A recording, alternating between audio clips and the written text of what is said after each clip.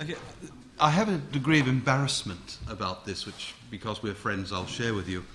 In that, what I, when I signed up to do these lectures, which I'm delighted to do and learn a lot from doing, I thought there'd be, you know, a small intimate group of five or eight people who knew know nothing about me and hadn't had any idea what they were signing up for, and I was going to talk to them.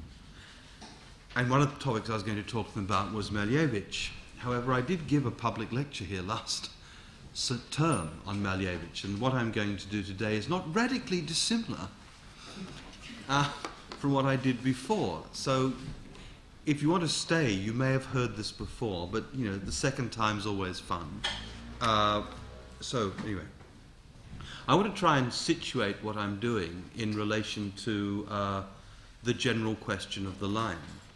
I mean, what, what will emerge this week is, if you like, the centrality of the concept of abstraction. And abstraction is one of those terms I've, I've mentioned and have alluded to but have not discussed in great detail. But as I said, some of you will have heard this before, but that's all right. And, um, but abstraction can be understood, it can be misunderstood, if we understand abstraction as taking something from something. So you abstract something, and, and which means that the thing from which you abstract is pre existent and therefore has the quality of a pre existent entity. You abstract something from it when abstraction is used in Europe in the 20s, it has a different quality. It is a generative term. Abstraction, as I'll try and argue with, in relation to Malevich, is linked to a notion of potentiality. Now, potentiality is again a topic that we, you know, I've, I've alluded to, but I just want to spend, along with abstraction, some time clarifying. Abstraction is not something you take from something. An abstract line is a line that has potentiality. It's a line that will become something. But it's a line that will become something. And once you can argue that it's a line that will become something, because it has potential, it therefore can't be understood as a representation. It doesn't stand for anything other than itself. If you remember what I was trying to argue in relation to Walter Benjamin, it seemed like years ago, but it was only last week, was that what became interesting when his conception of, the, of, of composition or the, that notion of drawing was that these, these were lines that, as it were, stood for themselves. They didn't stand for anything or represent anything. They, they stood for themselves. And as such, they either demarcate a field which would be in the case of painting what we call composition, which has the right to be named. They demarcate a field, or when we move to architecture, something else is at stake. And indeed, it's worth recognizing that the line, you remember last week I talked about Rembrandt's painting.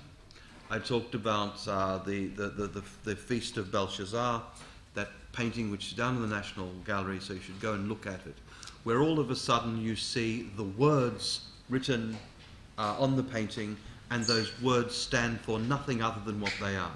They enact something. Now, on the level of painting, that will do. What's enacted is just that.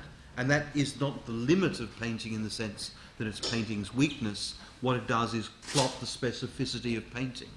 So the image within painting operates that way. Now, we're not interested at the moment in the image in painting, we're interested in the image within architecture. What makes Malevich so interesting is that he moves between painting and architecture, and therefore our discussion will enable us to, to identify the two. So potentiality within architecture necessitates a conception of ab the abstract line as that which will allow something. Now, what it will allow becomes the question. Equally, the allowing necessitates the overcoming of its being abstract and therefore the realizing of its potentiality. Now, that to my mind is precisely what uh, Malevich was concerned to do. Malevich was concerned, I'll say a bit about Malevich in a moment.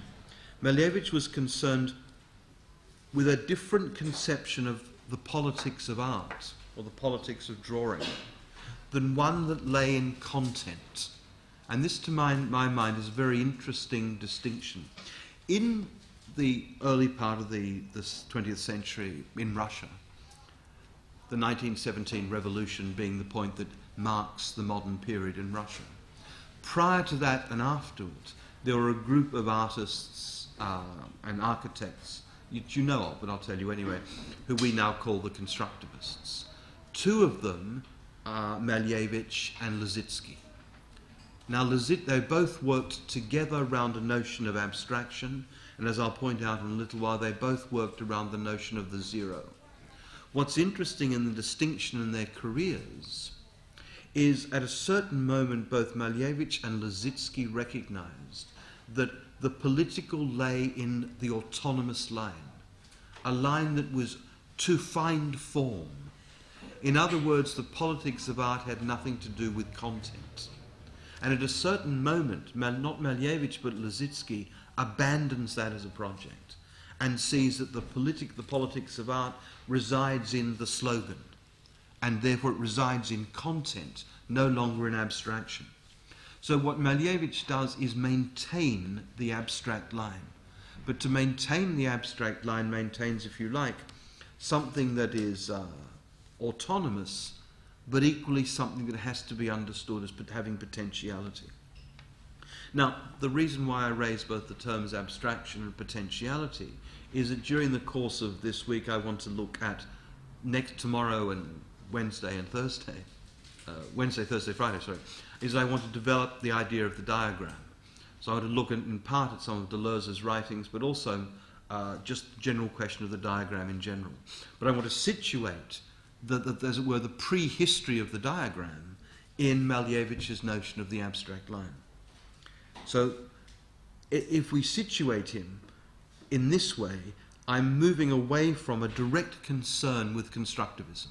I recognize the importance of constructivism, but I want to reposition Malevich in some sense away from that. The, the lecture series is called From Splines to Lines. So I'm rewriting gesturally the history of the line given what's happened to it. So I want to see now uh, Malevich's interest in abstraction and on potentiality as part of the prehistory that becomes possible because of what's happened to the development of the line.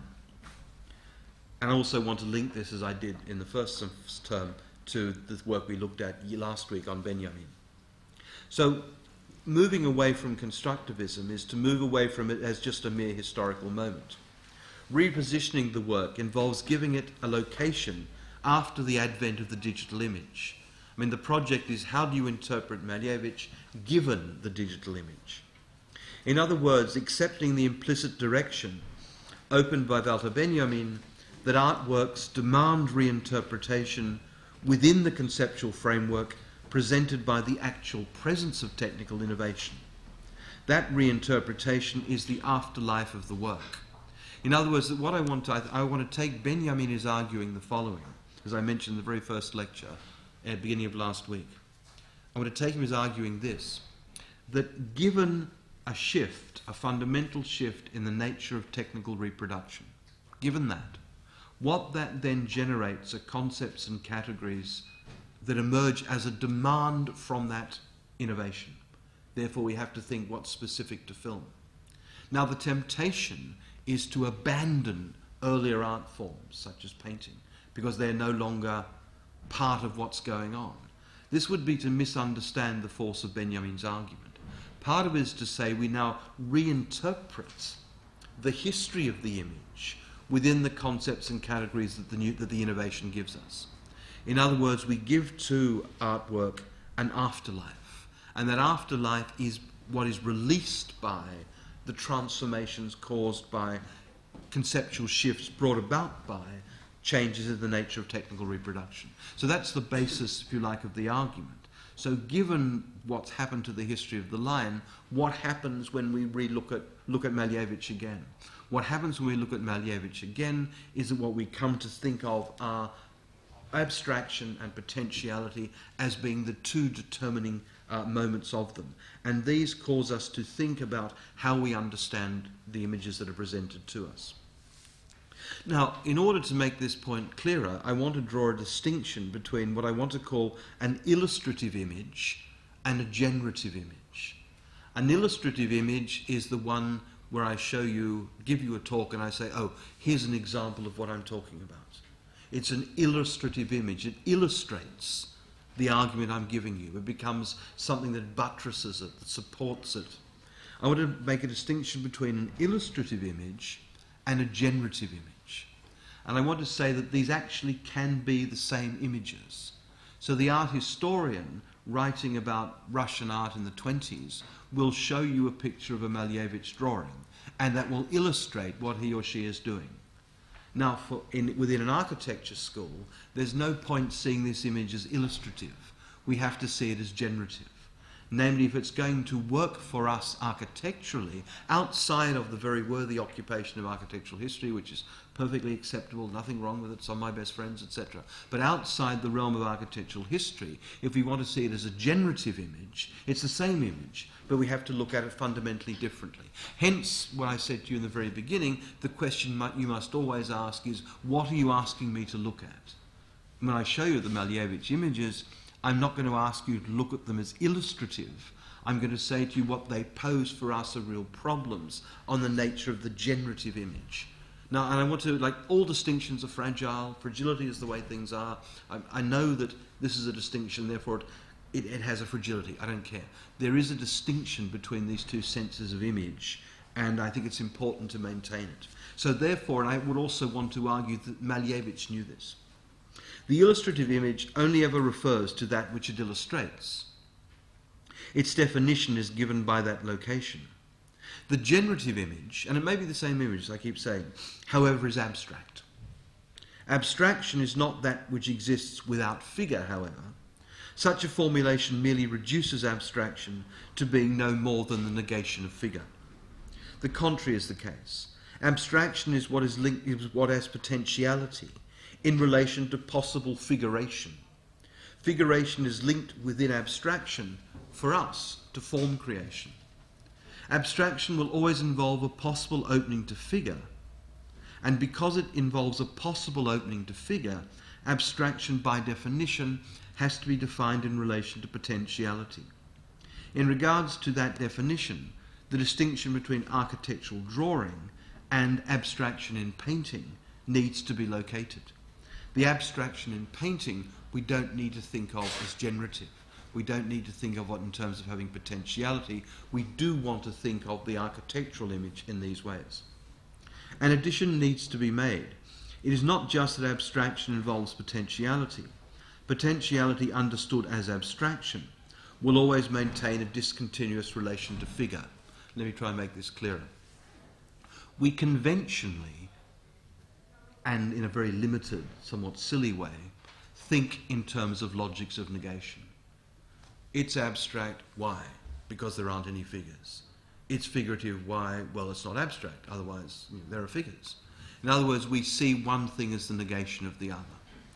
But if we think outside that logic of negation, which gives us no internal specificity, just a it can't be this, therefore it has to be that. Once we think beyond that structure, and we think about abstraction in terms of potentiality, then what is interesting is this potentiality is not simply with no direction. The potentiality is always linked to the finding of figure. So figure is an after effect of the possibility of an abstract line thought of as having potentiality. It's the after effect. It comes to figure, and what figures is the figure. Now, therefore, the interesting question is how do we release the potentiality of the abstract line? How do we allow the abstract line to find figure? And it's interesting if you read Kandinsky, if you think about Klee's writings, if you think even about Malevich, this is a general preoccupation, is the move to figure from the abstract line. And I want to situate uh, uh, Malevich in this. Now, what I talked about last semester, last term when I talked about Malevich, was I, the extra, a bit that has to be added on, is that, is that this preoccupation has to be seen as fundamental to the project of modernism. But not modernism thought of as simply, you know, and then there was modernism, as though the history of art or the history of time is simply continuous. To be thought of in terms of radical interruption. And the passage I've read before, which I'll read again, I think captures exactly the force of, of what Malevich is arguing. He says, and you've heard this before, but I'll say it again, and I quote, We should not resemble our fathers. Their faces, palaces, and temples may be splendid a thousand times over, but our new meaning will not inhabit them. We will build our own, our new world, and thus will not wear the forms of Greece and Rome. We shall not be the peddlers of antiques. End quote. Now, I'm, i particularly love this passage from the bulletin of the Executive Committee of the Moscow State Art Workshops uh, because what it does is dramatize the relationship between a notion of abstraction and the idea of radical interruption. In other words, it links Malevich's projects of abstraction and potentiality to that thinking of the modern which is founded on an inaugurating interruption. And to my mind, it becomes very interesting how you could understand the same image as announcing that interruption. Let me give you uh, an example, and it's an example that you won't know, so you can go away and find it. You know, when people are thinking about art, they tend to think a lot about Cézanne, and then they move on and they discover the, the great artist, who of course is Manet. And when they discover Manet, what they discover is something that they can't see. And that's because the characters in Manet's paintings can't see them.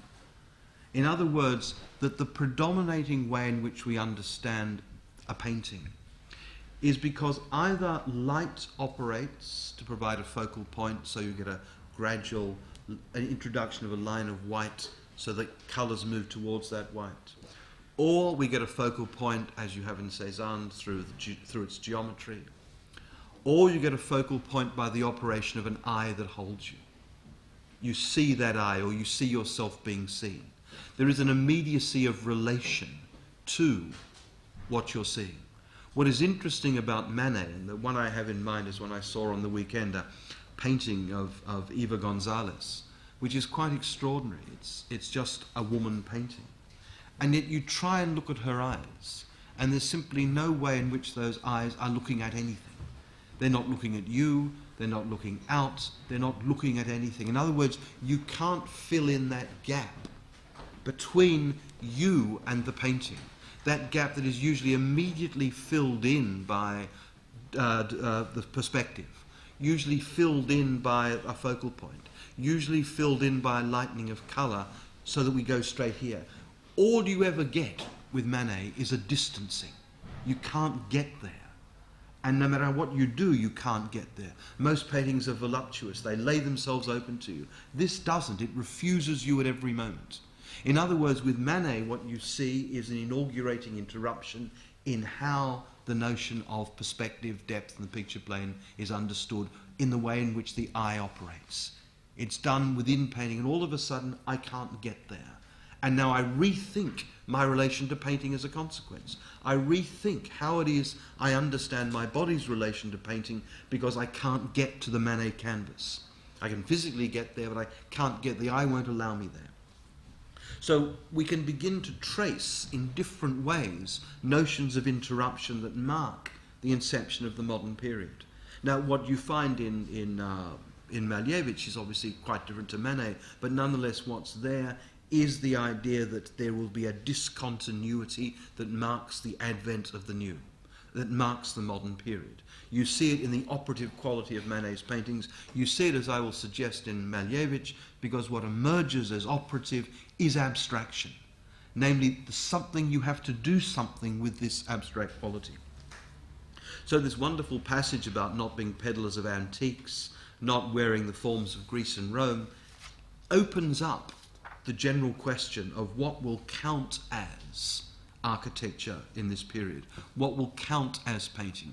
If what we have won't work, what will work? How, do how does one not peddle antiques? How does one not resemble one's father? And you know there are lots of arguments that could be brought out at this point. Now, in Malevich's own career, a concentration on these questions involved, in part, the move from painting to architecture. He gave up painting for a time in the early 20s, and the majority of his work was then centered on architectural research. It was, research, it was research in a strict, though limited sense. His the, his concern was the creation of architectural forms that moved away from the figure, hence the question of the image's status. Now, in regards to this move, most commentators note that within the constraints of the Russian language, at least in Malevich's argumentation, the terms figure and object are the same. And so what he's after is an architecture without figure, an architecture without object. And when I show the images, which I will at 20 to 6 when Joel comes back and turns the lights off, um, so we have to wait that long before we see anything nice. Uh, what becomes interesting is we're then, then left with how we understand the forms that he shows us. I mean, what, what interpretive framework do we take to these? So, this conception of figure and object and the need to have figureless or objectless uh, art opens up a very interesting problem. And if you like, it's the problem of the less, objectless, figureless. What is that? Now, the, the clear analogy, which I've mentioned before, but, but I mean, I think it's just obvious. The clear analogy here is with Bataille. Not the Bataille who writes the paper called Architecture, which is not really about architecture, but about the symbolic function of architecture. But the Bataille who writes the Dictionnaire critique, the Bataille who writes the entry informe, because in French the un is a negation, informe. So it's not formless, it's how we understand it is the question. Now the informe, in French we'd say the informe qui forme, it's the formless which causes form. In other words, the informe becomes a way of thinking about that which is prior to form, and what's prior to form is not nothing. What's prior to form is the potential for form. And that potential for form is thought by Bataille in terms of the informe. But the other affinity with, with Malevich, though I'm pushing it here, but I don't mind doing that. The other affinity with, with Malevich is clear that Bataille took the notion of the informe as critical, as a crit- critique of those who believed that the question of form was already over. That the was like form was natural, form was what there was. We know what form is. It's this thing that's related to walls and floors and dominated by the tyranny of the corner. Form is very clear. We understand what form is. Now, when Bataille says the notion of the informe, undoes the pretensions that we know what form is in advance, that would just be, you know, the nihilism of the 16 year old if it was simply, oh, I don't like form, form's a bad thing. As though that would do as an argument. The notion of the informe in Bataille becomes this generative question. And both I and others have written endlessly boring texts trying to establish this notion of the informe as productive. But it's productive not because it's a, it's a motor, it's productive because it's abstract. And if there is a link to Malevich, it resides both in the notion of abstraction as productive, firstly, but equally linking the notion of abstraction as productive to a critique of the tradition that says we know what form is. So it, it, two things work at once. So, therefore, the question is how do we understand the notion of the objectless or the formless? How do we understand the idea of the finding form?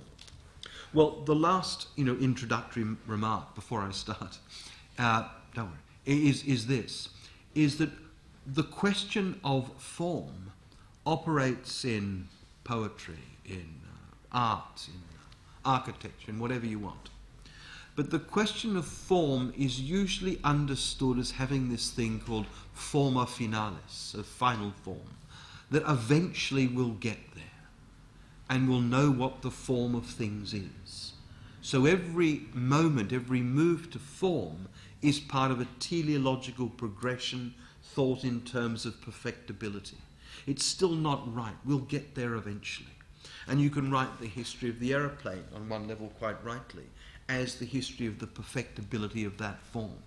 It's just taking streamlining seriously. On one level, that's true, but in the end, there will never be, on a banal level, the final form proper to the aeroplane.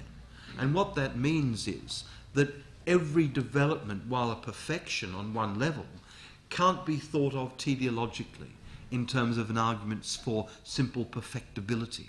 Which is not to say there's improvement. But the notion of final form as this point you reach is abandoned. And that means that at every moment, formal considerations demand judgment on their own terms, not in terms of a posited ideal endpoint. So there are these three elements, therefore. There's abstraction, critical, uh, the notion of the interruption of, and the modern, but equally the idea of the deferral of final form. Now, all of this, I think, informs or structures, if you like, Malevich's writings and Malevich's concerns. Equally, they're linked, as I'm trying to suggest, to Bataille and others who are thinking at the same historical moment about the question of the relationship between form and that which generates it. Now, this concern with form, as I'm trying to indicate, works in two directions. On the one hand, there is the creation of work, lines and forms. Equally, there is the interpretation of work, formed lines and thus form. In other words, both these things are at play. There aren't just lines, there is also their interpretation. You, Joel, can we have the. I'll show them the pretty pictures now. So, oh, so I have to stand. Oh, I can do this, can't I?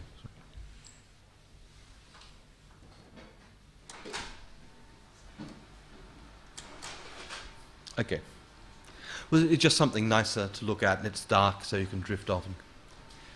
Uh, what becomes interesting to me then is, is uh, how we, I mean, my, my interest is really is how we interpret these. Now, this one and the one both of these, the one you just saw and this one here, have as titles something like uh, dwelling places for future inhabitants of the earth, uh, or something, some a version of something like this.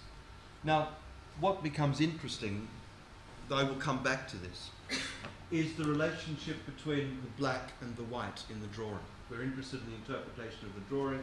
We make a lot of these lines, the addition of the, uh, the writing, try and clarify it. If you go back to Freud's drawings, it's as though you can't draw anything without writing something to clarify it. But if this is a dwelling place for future inhabitants of the earth, and if it's abstract, and if it's not representational, what is it? If we're thinking about it as, as illustrative, then we'd see it as, illus- as illustrating and being the image of a future house. Namely, it would have corners, walls, black roof, it would have floors, etc., etc. It would be laid out on a grid so you could understand its location. The defining grid would give you the relationship between the elements. It would illustrate that.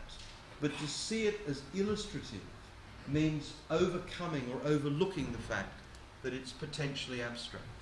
And it's that problem that I, I want to look at.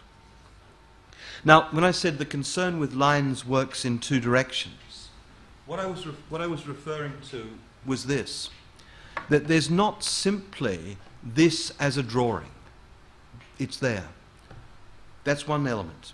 The second element is how do we understand that drawing? Now, you would say to yourself, well, why would you possibly ask that second question? It's there to be understood, it just is there. The point is a more serious one. It goes back to this conceptual problem I raised at the very beginning. That while it's given, while it's there, what is it that you're looking at? Do we read simply its title and name it in that way, or do we take it differently? Now, these are the two 1917 ones, and I'll come to these.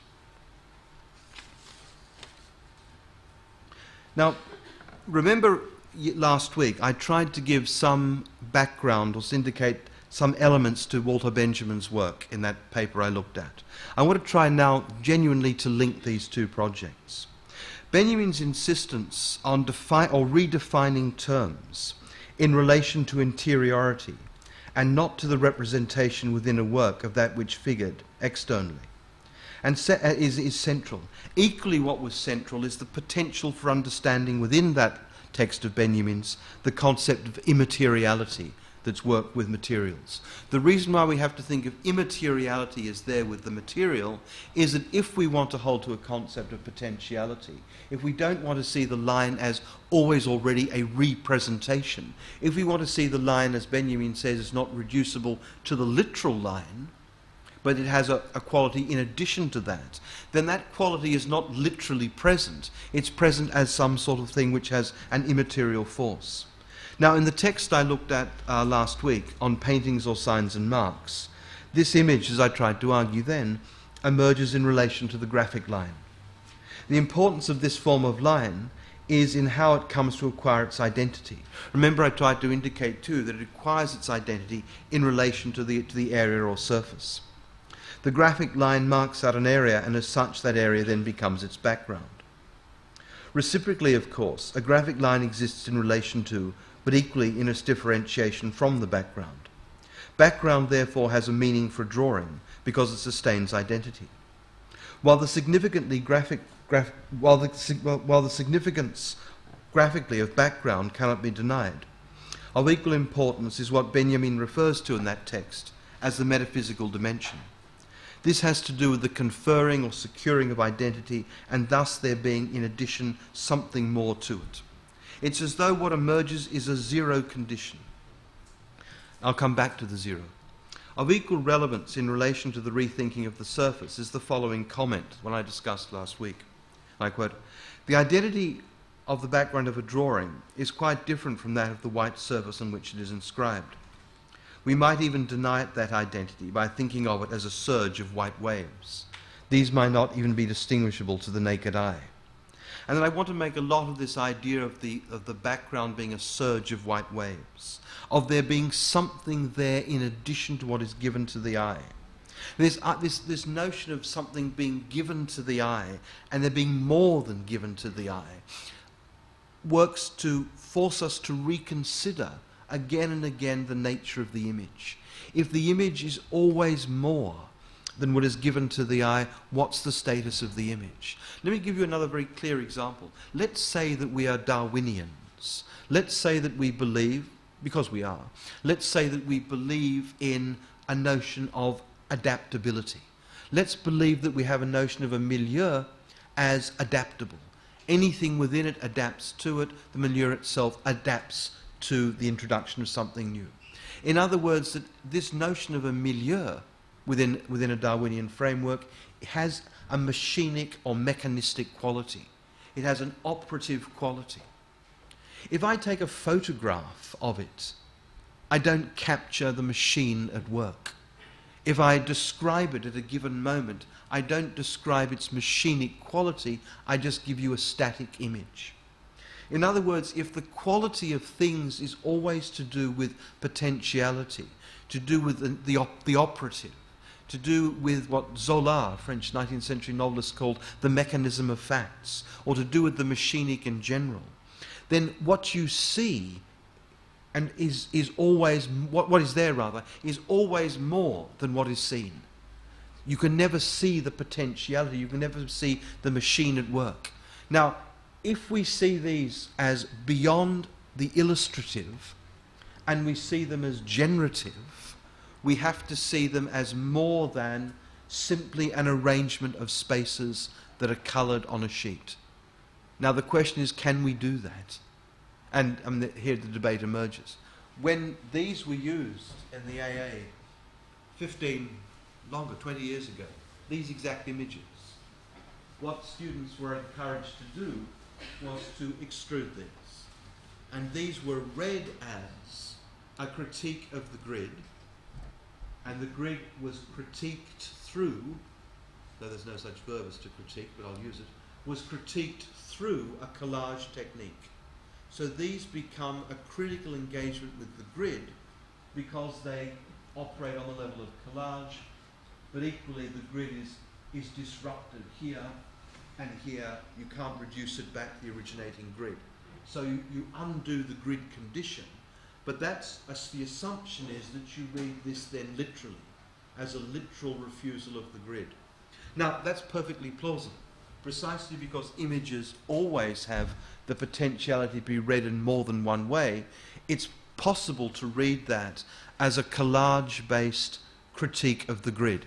The very fact that you have these organizing lines here, here, here, which organize the spatial situation outside of a grid structure, which distribute the elements outside of a grid structure, means that it, is possible to read this as a collage based critique of the grid and therefore a collage based critique of grid based urbanism. And it's not difficult to see why Colin Rowe is fascinated by this and can see within this enormous potentiality. But reading it in that way holds to it as being a literal image, doesn't see it as having potentiality except by extruding it, by pulling each of those blocks up. Now, what we have to think about is the possibility that were we to see this and as what Benjamin would call, you know, pure drawing, if we were to see this as pure drawing, then what we would have to locate within it is its potentiality. And therefore, the architectural question would be if that's the case, how does one release the potential in that? If that's the case, how does one release the potential in it? Now, what this means, what this gestures to, is the fact that the drawn line, running with this argument, it follows that the drawn line does not have an, an automatically determinable status. The relationship between lines drawn on a page does not have an automatically identifiable identity. Which is not to say, of course, that lines don't have a history. Now, for, while for Benjamin, this is understood through what he referred to as naming, for Malevich something else comes into play. What he wants to do is argue the following that these drawings are abstract, no problem, and the way in which abstraction is to be understood is as excitement, his word. And the passage I read before, which I'll, I'll read again, is this. I quote, excitement like molten copper in a blast furnace seethes in a state that is purely objectless. That is, it seethes in a state that is without figure. It seethes in a state that is abstract. But notice his language. Excitement like molten copper seethes in a state that is purely objectless. He goes on. Excitement, combustion is the supreme white force that sets thought in motion. Excitement is like the flame of a volcano that flickers within a human being without the goal of meaning. A human being is like a volcano of excitements, whereas thought is concerned with perfections.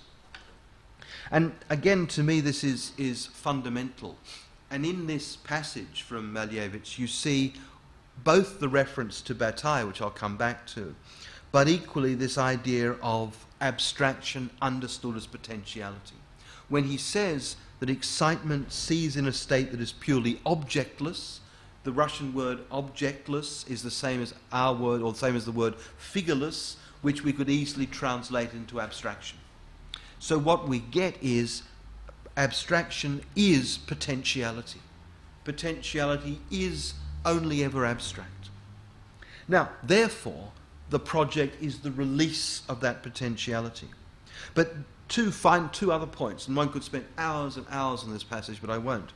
Is one, the idea is that potentiality exists, I quote him, without the goal of meaning, firstly. And secondly, that, that excitement is counterposed to what he calls thought. Now, let me just run the second one through. In this little text of Bataille's that I referred to, which you all ought to read, it's only 12 lines long, just write it out, stick it on the wall, it's done, called Informe, or in English, formless.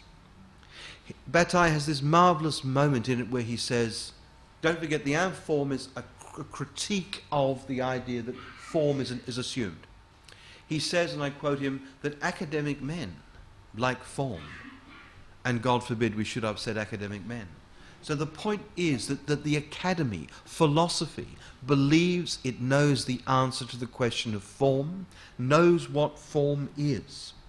To counterpose this is not to develop a critique of, of, uh, of that, but to see that what's counterposed to it. So when uh, Malevich says excitement is counterposed to perfection, Bataille would say that the informe is counterposed to the belief in we already know what the question of form is. So philosophy who, that thinks it has an answer to the question of form is distanced by uh, Malevich in the name of excitement. For Bataille, academic men philosophy is distanced in the name of a productive negativity, the informe. So there's a real resonance then between Malevich and Bataille in terms of how we'd understand the production of form and the inherent criticality brought into this project. I mean, it's, I mean, it's worthwhile, you know, pausing, if only for a moment. I mean, one of the great problems that's emerged with uh, architecture in the age of its digital reproducibility is that we tend to lose sight of the nature of criticality, of what the critical would be. You know, in the 70s and the 80s and the 90s, we thought we knew the answer. It was being progressive, or it was, you know, doing this sort of architecture opposed to that sort of architecture. What you get from Malevich and Bataille is something quite different. And there's nothing wrong with these other projects, I assure you. That what the notion of the critical emerges with the disruption of, a, the, con, of the continuity of a certain possibility of thought. Namely, to hold to abstraction as generative is to refuse a notion of form as already given and as perfect. As perfect. To hold to the idea of the informe as generative is to refuse these things as well. So to champion the notion of excitement and potentiality, equally in Bataille's sense to champion the notion of the informe, is already to think with the abeyance of that dominating tradition. In other words, that the critical lies not in terms of utility or not in terms of uh, there, there, being, there having to be an end to something, but in the actual mode of thinking itself. In that refusal of certain modes of thinking is the allowing of other modes of thinking to emerge. So there is therefore something very interesting going on on this, this championing of, the, of excitement as potentiality.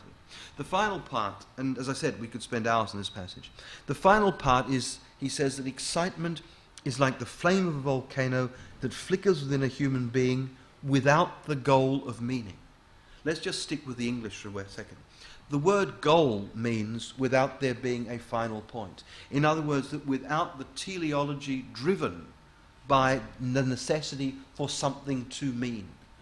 More than that, as I was discussing with some people earlier this afternoon, what is interesting in the deferring of meaning is, and, and I always make this point, but I think it's a point that needs to be made continually, this is where we bring back the materialist tectonic tradition of architecture. It's Gottfried Semper who argues more or less the same. Namely, that art worthy of the name is not interested in meaning, it's interested in the operation of materials. The operation of materials may have a meaning, how could they not, but what we're interesting is, interested in is the operative quality of the object. The result of the operative quality is its meaning.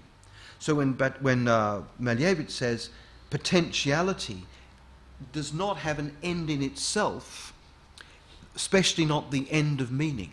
Therefore, not only is that interesting, as I said, in and of itself, it's fascinating because it defines a particular site of research and project, namely the releasing of potential becomes the project of architectural research. We can evaluate it, we can begin to draw judgments, we can be critical of it. But the project of research is, to use this rather flowery language, the release of potential. And the release of potential becomes the finding of form. And, and the finding of form is then what we begin to investigate. Now, both uh, Malevich and Lissitzky developed these things in the 20s they called prouns. And prouns were if you like, three dimensional manifestations of suprematist drawings. They were white objects. And they were posed real questions in terms of how they were to be understood. Now, in order to, to, to approach this, what I want to do just very quickly is talk about nothing. But not just the nothing that we usually talk about, but nothing as zero both Lissitzky and Malevich talked about the zero degree of painting. And again, if that seems difficult to grasp, it's very straightforward. where do I begin? With what do I begin? Well, you begin at the beginning. Yes, but if I don't want to imitate my father, resembles my father, be peddlers of antiques, what do I begin with? How does one begin? And Lissitzky, writing about this, says, For us, however, the zero was the. Uh, sorry, for Lissitzky, Malevich wanted to reduce all forms, all paintings to zero. Lissitzky counted in the following way. He said, For us, however, this zero was the turning point. We have a series of numbers coming from infinity. It, 6, 5, 4, 3, 2, 1, 0.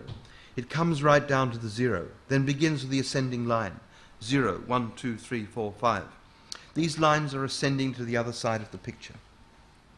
Now, what, what Lissitzky was trying to do is to say, look, through any zero automatically runs a line.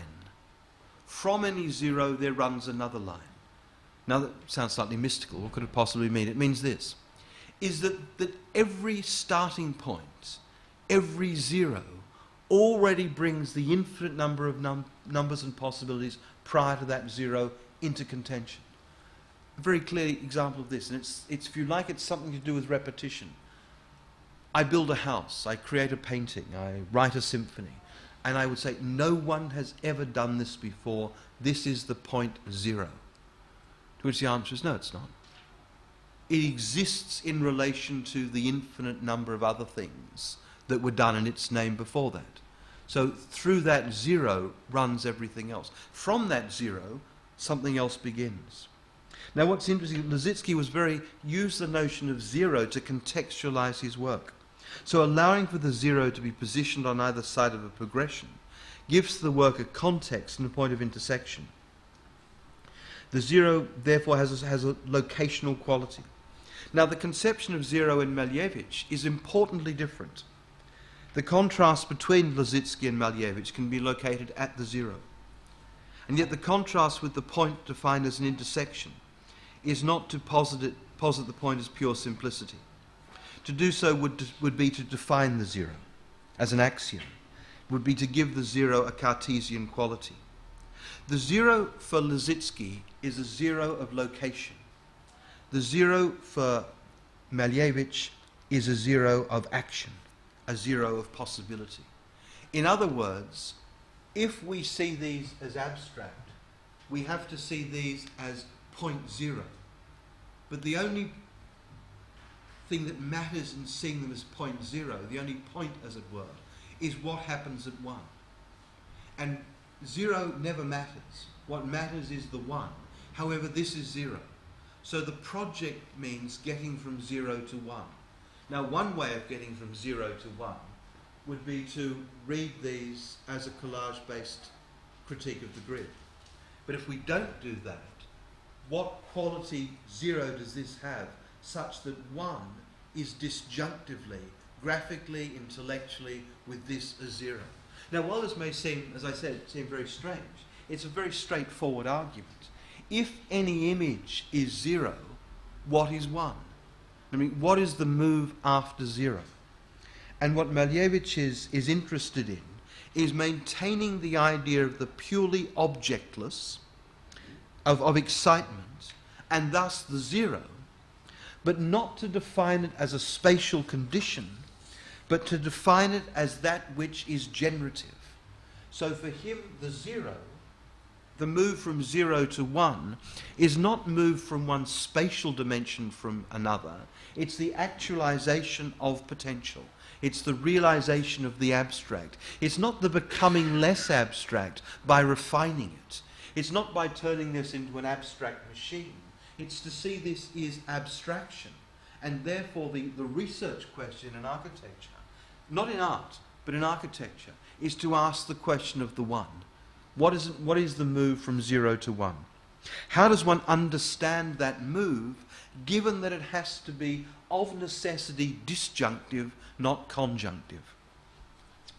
Now, it could be that we'd then not want to go anywhere with this, but there may be something, something here. Now, and obviously, you know, again, historically, you know this, but I'll uh, say it anyway. I mean, for, for Colin Rowe, these things are fundamental. For Van Doesburg, these things are fundamental. For Mies, And for Corb, especially in Rowe's reading of it, these images are, are absolutely foundational within a certain understanding of modernist architecture. And well, one needs to sort of concede that point and then move on. So, the, so let me move on. The question of what is seen only emerges with real force once it is recognized that at play for Malevich, as I've said, is the zero. But what is the zero? I quote, it is the ring of transfiguration of all that is with object into the objectless. End quote. Two questions arise here. The first is how transformation is to be understood. Again, I'll give you the quote. What is, he, what is the zero? Is the ring of transfiguration of all that which is with object into the objectless. That's very interesting. If this is with object, let me just go here. Make it even tougher for ourselves. If this is with object, and to use Malevich's language, then it's a representation of boxes with black roofs and houses. Okay. To see this as zero is to see it as objectless. In other words, to, to put into brackets that seeing that would see it as object. I mean, to use more conventional language, that seeing that would see it as figures. To see it as objectless is to see it as ground zero. And it's only it's seeing it as objectless that it then has the capacity to be zero. And at that point, and only at that point, does it become possible to ask the question of the one. Again, what becomes significant is the possibility of the transformation of this into the zero condition. And straightforwardly, that involves not seeing it representationally. And in not seeing it representationally, it can have a quality that's generative and only that way. I mean, one of the uh, great you know, projects that you can work on is uh, doing this with canonical drawings in the history of architecture. In other words, is to refuse their historical specificity, refuse their actual particularity, and begin to work with them as zero.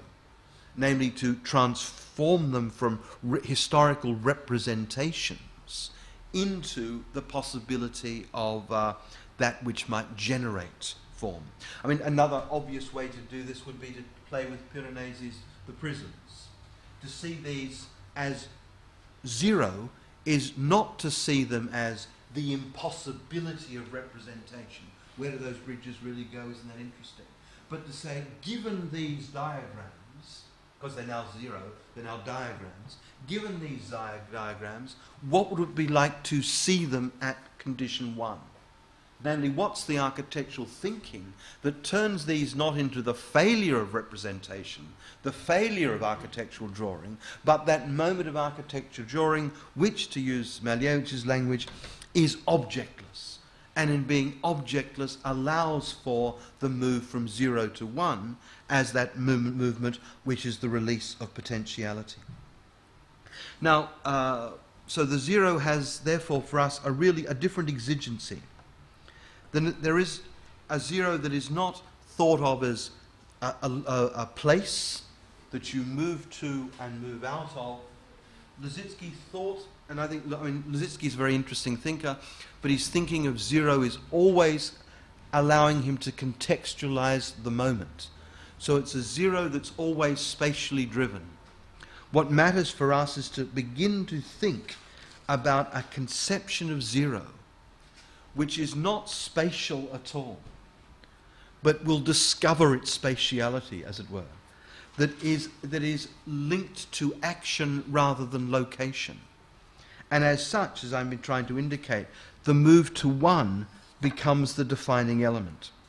Now, what I've tried to do, and I have a little more to say, is that uh, what I've tried to do is try was indicate that if one of the problems that we have is the status of the image, we can, if we're writing a history of architecture in the 20s, we can show these and we can say, well, this was the projected house for people in the future. This is the way Malevich understood it.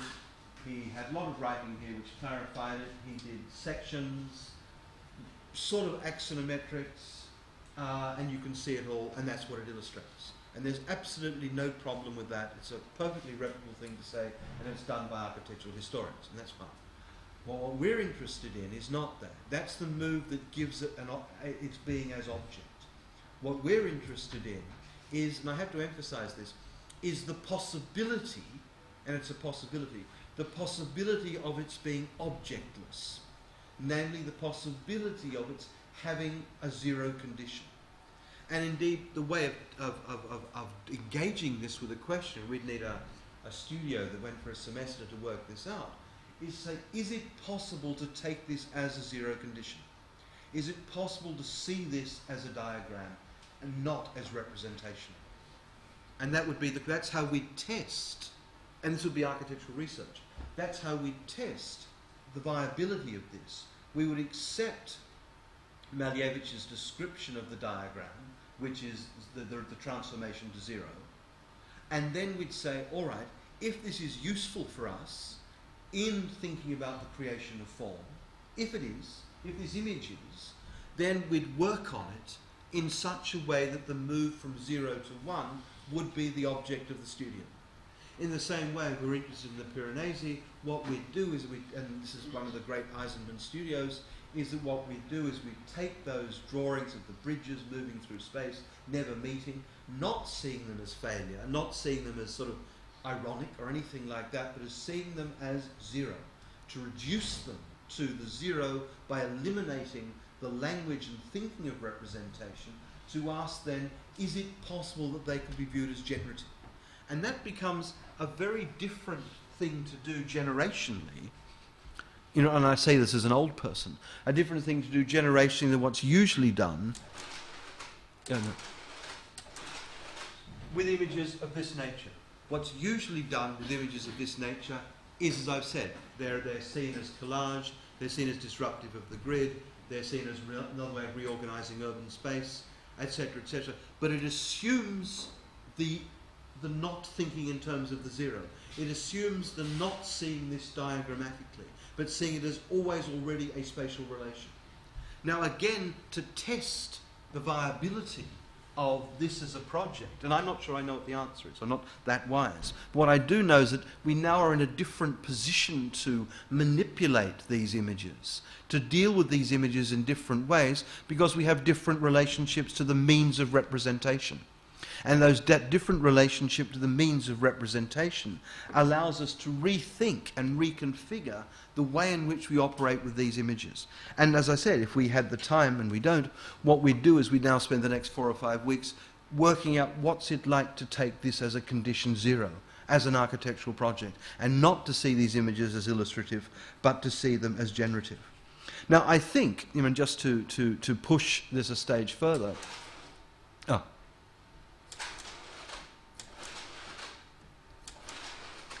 I think it becomes harder and harder as you know Malevich draws to maintain this position, to maintain this interruptive, disjunctive quality that has to be there. Now, one of the ways I try and try and write this is I write the words yet to be, because I quite like writing that. And I put little dashes, like yet dash to dash be dash. And what I want to say is that what, what marks out the diagram is, is, as it were, a yet to be quality. And therefore, to see this as zero is to see it as yet to be what it is. And therefore, the questions I'm saying is how do we understand or release the yet to be quality? But once we get the detail of something like this, and you can already see now that you've got gradations of colour. I mean, it, it's worth being super attentive to the drawing and not just being glib about it. One, I am not tall enough to do this, but once you've got the dark, the block of dark, that here, you have a finer grey here. So you've already got differentiations in the drawing, and then the most appalling moment, the moment where the anti-humanist you wants to get out and beat someone to death. You have people being drawn in. You know, so you've now he's now made the classic mistake. He's introduced scale. So we now know how to look at this thing because of these dreadful little entities up here. I mean, so it, as I said, with certain Malevich drawings, to be fair, it becomes tougher and tougher to see the yet to be quality. Because once you've introduced scale as external to the system, by introducing what, you know, the thing that architecture just can't let go of, or as much as it ought to, and that is the organisation, the whole of the human body. I mean, here, these three little guys up there give us the scale, and therefore define all of this in relation to that. If they weren't there, we would have no idea, and hence it would be, on a very straight literal level, abstract. As soon as they're introduced, you know that this must be two and a half meters, uh, because it then works with those bodies. So already it becomes, so, so my argument is, when you have a drawing of this nature, because of these gradations of colour and because of the human body giving you scale, it becomes harder and harder to see in what sense this can be read as abstract. This can be read as zero. Now, it's not just that you eliminate the bodies, it becomes easier. But we have to ask what the bodies stand for, those three little bodies.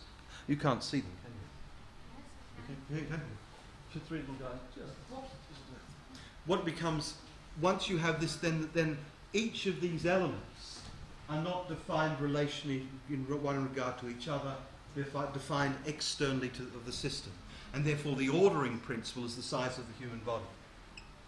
To, to, to, you know, so with, with working with Malevich, one has to go from one set of images to another, but the question we ask is the question of can I see this at zero? The last one, which I don't have an image of, but nonetheless I do think is extremely interesting, are, are the development of what he called his uh, architectons. And the architectons were large white objects that were three dimensional, that were rectang- rectangles, were obviously, obviously buildings, but they were all white. And he believed that these were suprematist architecture, and he believed that they occurred at the state zero. And I think what then that opens up something very interesting for architecture, and which I can't go into. And that, that is what is architecture's relationship to the model? I mean, we all, like last week at the DRL jury, there were models. Every time there'll be models. But the relationship architecture has to the history of the model must parallel, on a level of questioning, architecture has to the image because both of these are bound up with architecture's capacity to represent itself as architecture. So Malevich's models are, are large, white, undifferentiated objects that look like buildings, or that look like the outline of buildings, or look like buildings painted white. You can run it as many ways you, you want. You cannot escape that there is an image in some sense of building. Now, therefore, our, the project, which again we'd want to spend time testing, is can these be seen as zero? And it's very clear that precisely what, what Malevich does in moving away from uh, the addition of colour and the addition of human body and therefore scale is to try and give you an almost literal sense of abstraction. And that was by, the, by eliminating the possibility of, poly, of polychromatic, eliminating anything outside of the system, and allowing for these things to operate as zero because that's all you could see. Now, whether they're successful or not doesn't matter. What we're left with, and here I'll bring this to an end now, what, what we're left with, we're interested in the generative line. What we're left with with Malevich is, is, is, a, is a research project. That we have to set up the possibility of an investigation. The virtue of investigating Malevich's lines, and the, these drawn lines here, is that his work, interestingly, in my view at least, provides a framework within which we can evaluate the very project itself. In other words, the, it, the framework is let's see these as zero conditions. Not the zero of counting, not the zero of location, but the, but the, uh, the zero in which the move to one is disjunctive on the level of the image. Namely, that the zero is the, the necessity, and it's a necessity, the necessity to see these as objectless. therefore as non representational, as standing for nothing other than themselves, for being visually what they are, and that's it. Now, he gives us that as a project. Now, whether it's successful is up to a you know, seminar, semester's length studio to investigate. That's more than we can do tonight, hopefully, happily. But what matters is the work gives us the mode of evaluation. And what this does, on the one hand, it brings in those other thinkers like Bataille who are fundamental to understand this aspect of the modernist project, this aspect that's fundamentally tied up with a productive logic, a productive logic that's not driven by meaning or goals, but whose very criticality lies in its having a productive machinic quality on the one hand. Equally, it allows us to draw in other philosophers like Deleuze, who may be of interest uh, in how we theorize this. But what matters to me, at least, is that Malevich's own understanding of these images provides in advance the ground of exploration. And we're left now with what's flickering on the screen. And the question one could take to what's flickering on the screen is this, is there really nothing there? Thank you.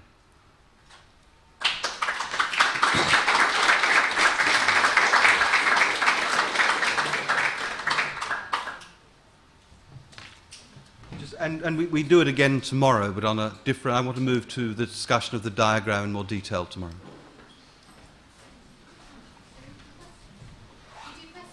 Yeah, sure, sure, sure. sure. Okay, well, um, my question would be oh.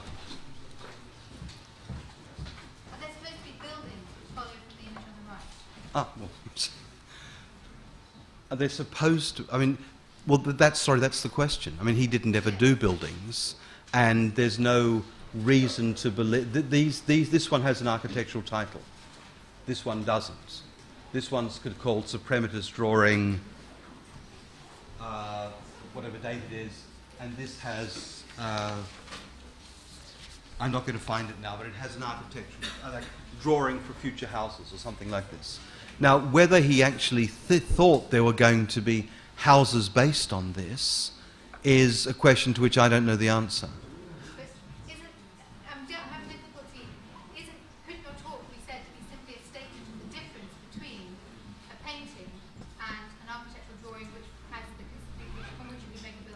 Well, yes and no. I mean, as always, because it's a good question.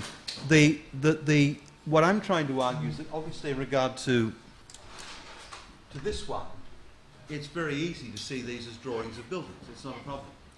However, he calls this a suprematist drawing. Okay. Now, if he's consistent, and that's all, and in some sense, that's all my point is. If he's, if he's, if he's consistent in the arguments, then this has to be seen as objectless. Now, if it's seen as objectless, it can't be seen as representational. Therefore, what do we see when we look at it? Now, it's a tougher question with that one because it so obviously looks like buildings. But as we go back, and especially to this one, which does have an architectural title, because this looks even further removed from the possibility of viewing it representationally, therefore viewing it as with objects, it's easier to see as objectless, first point. Now, this is where your point comes in. However, again, to be consistent with Malevich, were we to see it as objectless, then what's the object that occurs afterwards? Because to see it as already a building or already this plan for a building or something like this is to see it as object and therefore not to see it as zero but to see it as already one. But he wants us to see it as zero. Now what i'm trying to say is that that as a problem within design is a problem that is bequeathed to us because of the nature of digital images but what's interesting when you go back to the history of drawing, you can begin to see retrospectively that that sort of problem is exercising someone like Malevich. Namely, that if the move from this, if this is zero, if it's zero, the move from zero to one, if that move is to take place, then it has to be disjunctive on the level of the image. And if that's true, how do you get from zero to one? Now, that, to my mind, reiterates the problem of the diagram in contemporary architecture. And that, that's the point I want to make. But sure, I agree with you. Absolutely, there's a distinction between drawing and, and, and, and painting. Equally, there's a distinction between drawing and building. However, we usually understand the relationship between drawing and building in terms of a structure of representation, and that, that's what his argument is precluding. That's the point.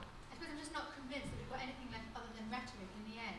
It seems to me that the only difference is made by, by Malevich insisting that we see a drawing of a building as equally abstract as the painting of the image which we have on the right. Yeah, that's and right. It seems like, you know, your talk, of course, is kept very close to the rhetoric of these painters, these Yeah. artists, Mm. these architects. Mm. Um, but in the end, has it really given us any more yield? Oh, I- reiteration of the rhetoric. the Oh, no, well, You know, Malevich would say, see it as see it as degree zero in each case, but mm, you know, as the honest viewer can't but say, but the one is a drawing from which you could make a building, Mm. and the other is not a drawing from which you could make a building. okay, but, but no, no, sure, sure. just a difference. And Well- whatever you may say about them, you haven't given us any, any way of understanding this image on the right, Yeah. uh, or rather the image which we showed of the buildings, Mm. as it degree zero in the same way that this is. No, no. Well, I'm well, sort of yes and no. I mean, I, I, I do take the point that, that, that you're making, but I, I, I just think it's, if the world were that easy, you know, be no, be, would be over. I mean, I do think that what, what, what is what is you can begin to take both of these as giving you, as I've said before, aspects of relationality, a whole series of different things. Now, one of the, the interesting problems in the history of architecture has always been the relationship between a drawing and, and a building and how we move from one to the other. Now, one of the projects of, of, of the, more, the, the more, creative end of architecture has been to try and draw other possibilities or make models of other possibilities. Here I'm thinking of someone like Kiesler, for example. You know, and, and then the question is, how does this work as an architectural image? Now, you're right, I'm sticking very closely to what, uh, Mal- to what Malevich is saying, not because, you know, it's just, it's fun to say, oh, it's not a representation, isn't that interesting, because it looks like one, but to say that actually, as I said before in my first, first time I responded to you, was that actually what this does is repeat the problem of design as it's occurring at the moment.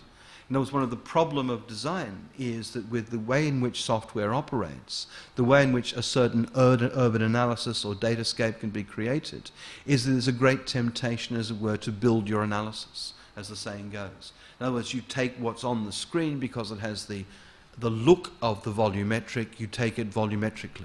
But if you didn't take it volumetrically, you then have to say, well, what's the volume proper to it?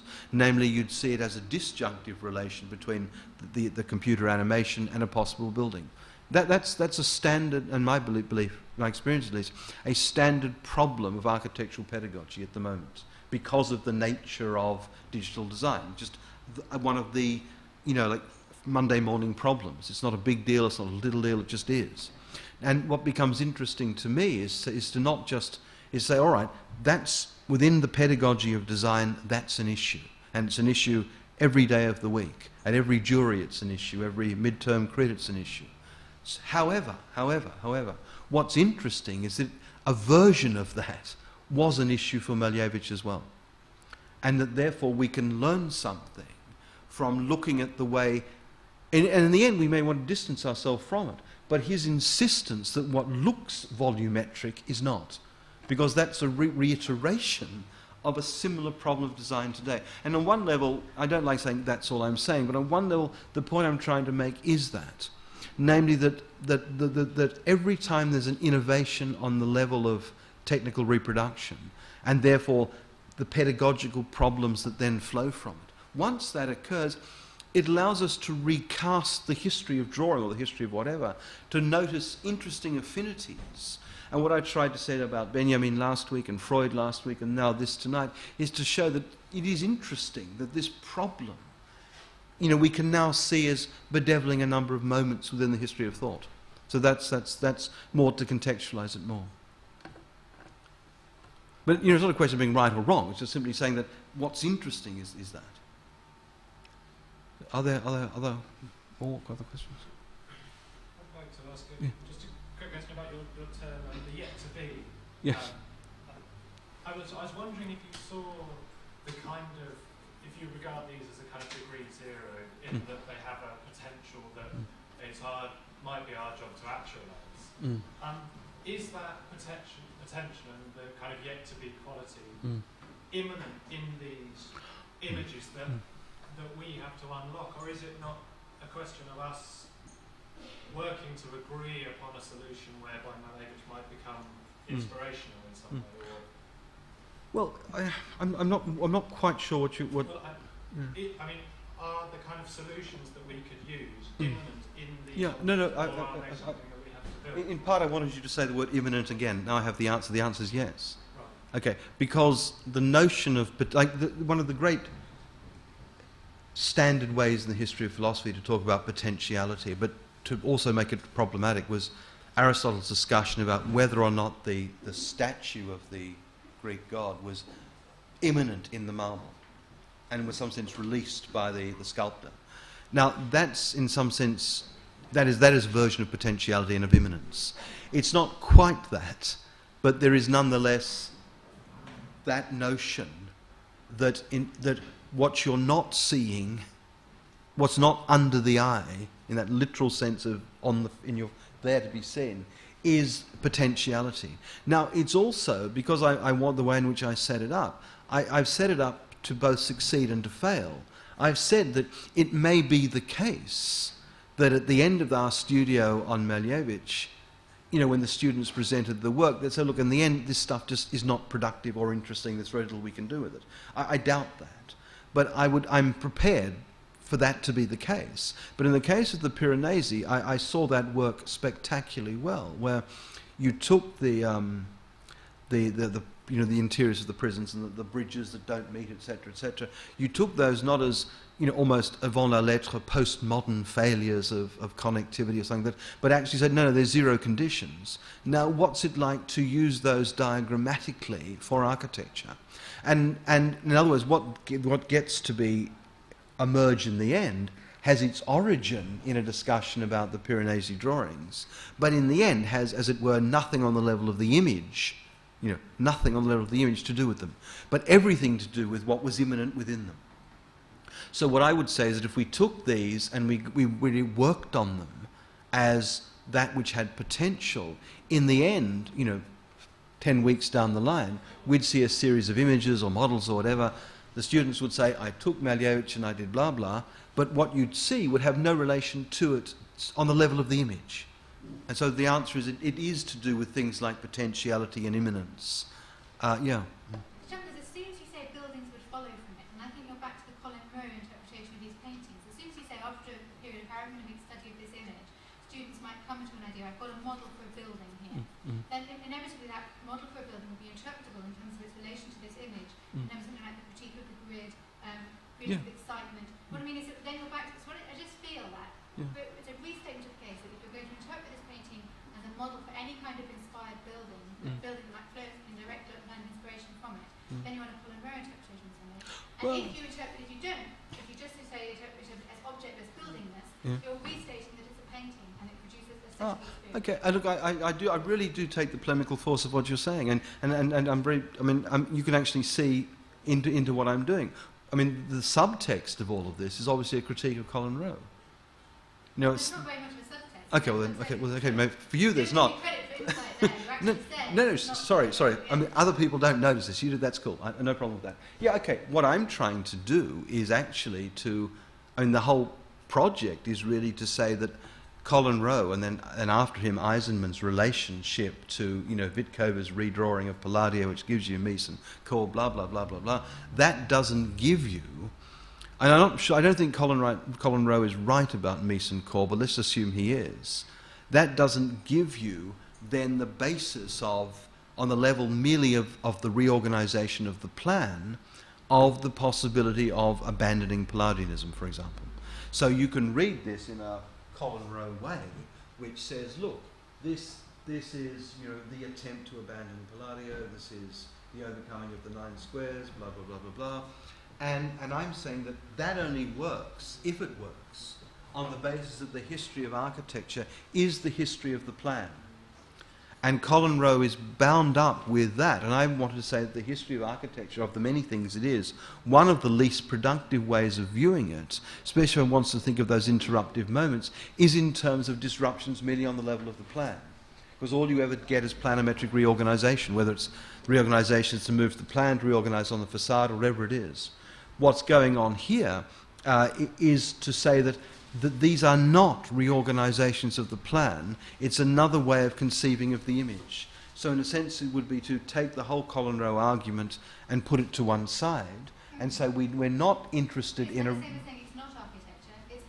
Well, no, but then, then the question is is there within these the potential for architecture? But as soon as you make architecture from it, you've read it as a plan. Well, yes, but, but the plan may be on the level of the image disjunctively related to the diagram that created it. And that's, that's the point. So it's not reducing it to a painting, though I do take the point you're making. I, mean, I do see this as the, as the problem. Yeah.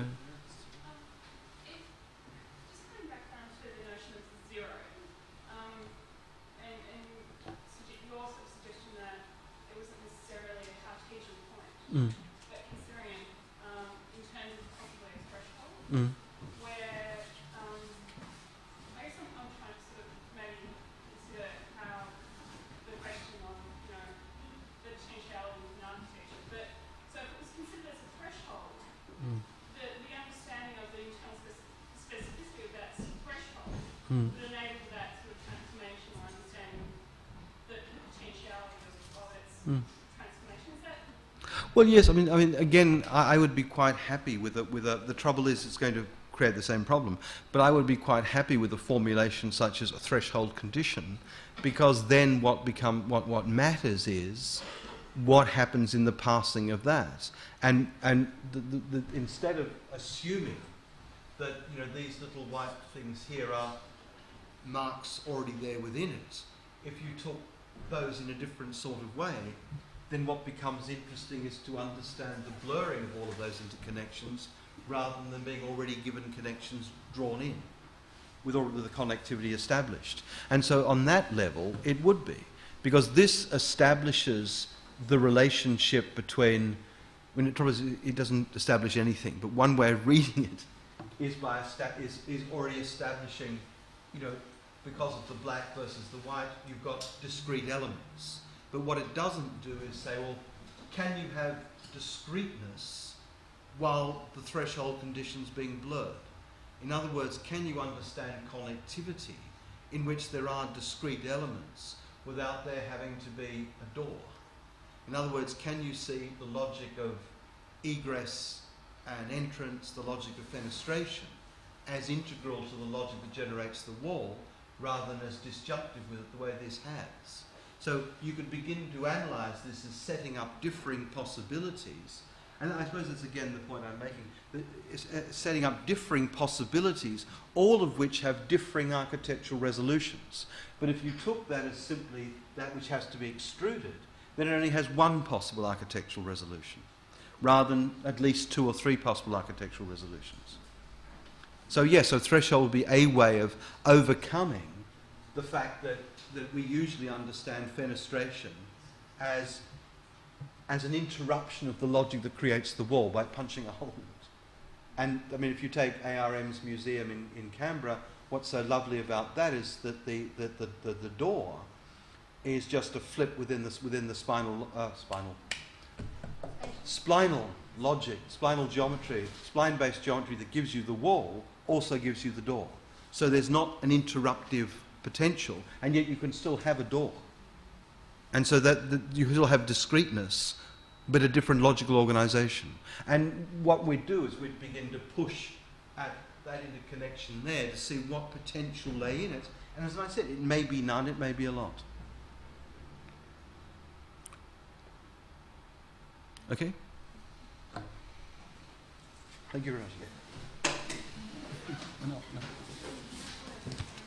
Oi, vai.